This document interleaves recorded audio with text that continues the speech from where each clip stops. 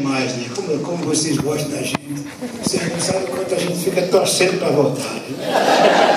Sabe?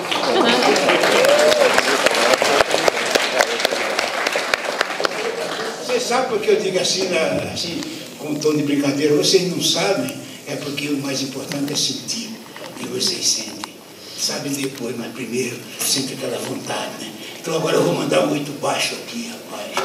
Quando eu quando eu tocava do jeito que eu toco com os coroas, para dançar, aí eles diziam assim, eu, com meus 9 para 10 anos, aí meu pai dizia, eles diziam, é, aquele outro cara, eu e meu irmão, né? Meu irmão tocava, tocava também comigo, ele tocava oito baixo, eu pegava o pandeiro para dançar. Aí eu já fazia, tocava um forró assim, por exemplo, fazendo assim.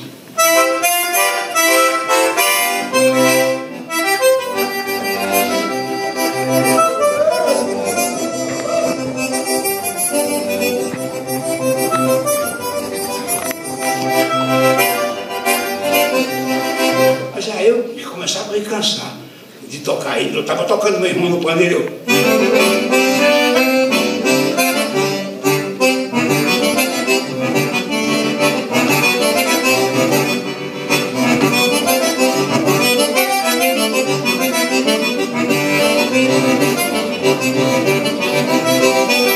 Todo mundo lá, eu fazia assim.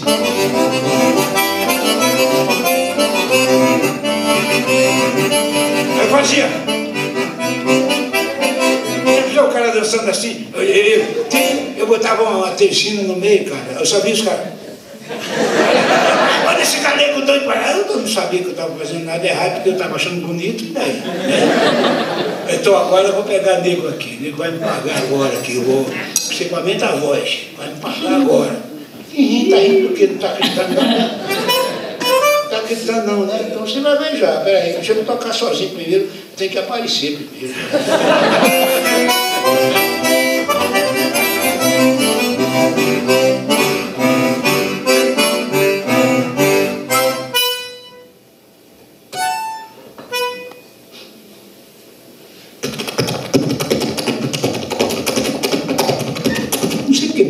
bitch. Like,